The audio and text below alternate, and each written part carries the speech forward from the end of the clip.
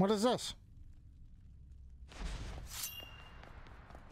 Is this a Zelda game they were talking about earlier?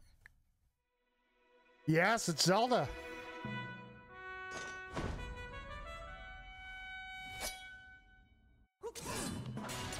Whoa, right in the fray. We got Ganon, we got Link.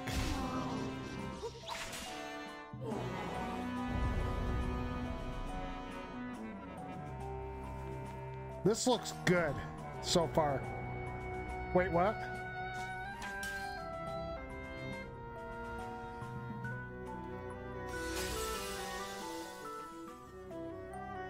And you know my feelings on Zelda. hey, J-Rug, what's up, buddy?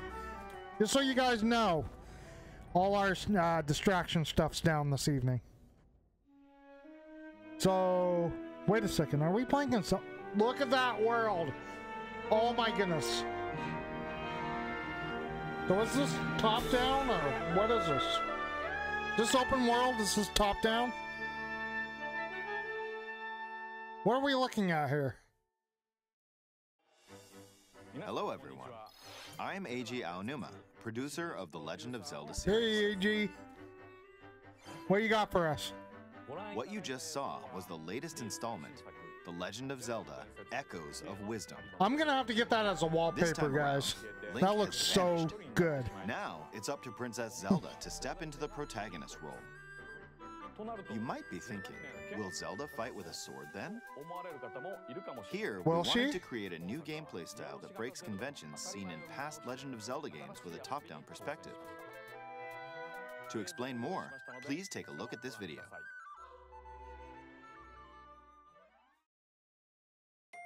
Stolen away.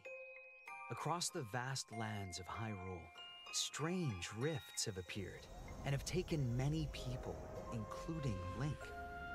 Now alone, Zelda meets the fairy Tri.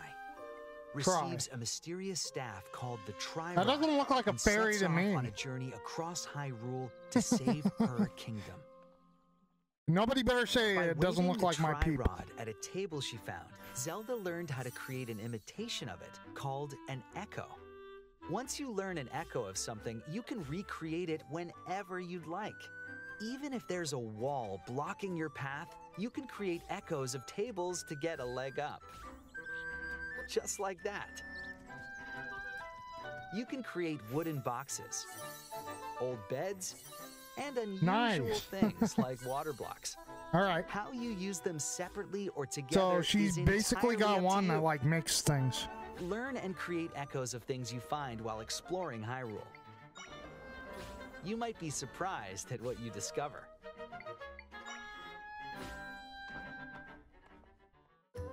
Even battles will look different.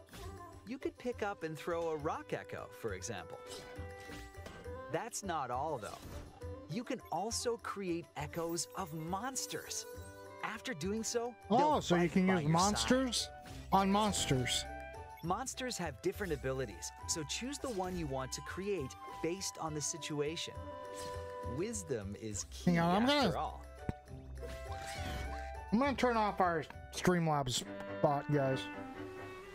Let's see if I can turn you off. Labs. Being a little bit of a nuisance, guys. Hang on.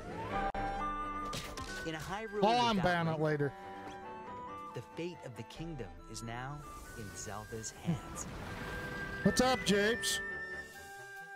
How was that?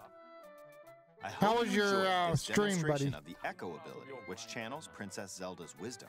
There are a lot of echoes in this game. to be honest, I haven't counted them all yet. Thank you for the shout out to Japes. How you solve puzzles and battle enemies will change depending on the echoes used.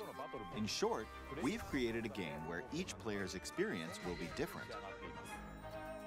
The Legend of Zelda Echoes of Wisdom launches September 26th. September 26th, so that's relatively Nintendo soon then. Switch Lite system inspired by the Legend of Zelda series will Time also with family available before bed. Hey, no mo- We worries, hope man. You're looking forward to playing as Zelda in this new adventure. It looks Now, okay. I mean, like uh, I would have rather moment played as Link, but stolen away everyone's back been wanting. Um, everyone's been wanting a game where you play as